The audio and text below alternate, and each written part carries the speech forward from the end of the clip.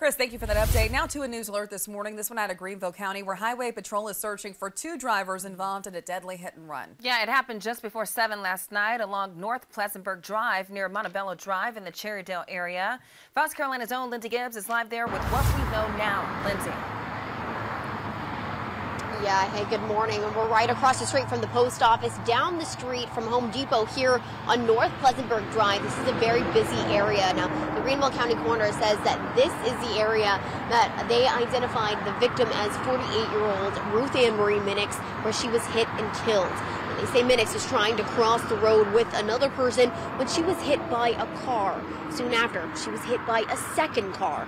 We're told both drivers didn't stop. Troopers tell us the person that was walking with Minix wasn't hurt.